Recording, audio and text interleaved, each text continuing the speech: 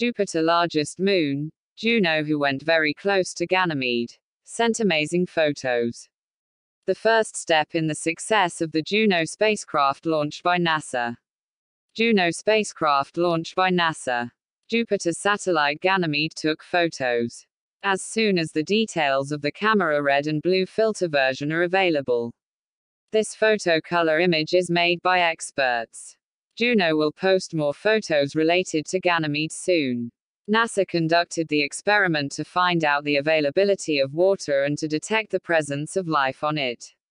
Launched on August 5, 2011, Juno traveled nearly 280 million kilometers to orbit Jupiter.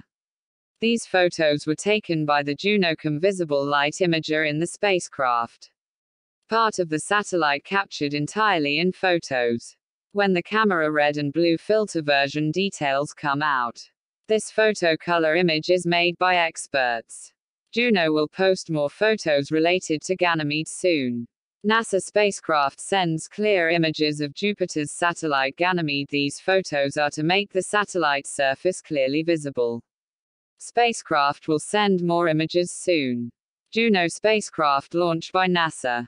Jupiter satellite captures the image of Ganymede. Juno, who went very close to Ganymede, sent two photos to Earth. These photos are extremely clear.